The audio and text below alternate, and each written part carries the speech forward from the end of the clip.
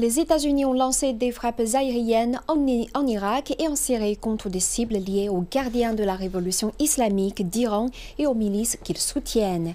L'armée américaine a utilisé des bombardiers B-1 à long rayon d'action. Washington affirme que ces frappes ont été menées en représailles à l'attaque meurtrière perpétrée contre des soldats américains le week-end dernier en Jordanie.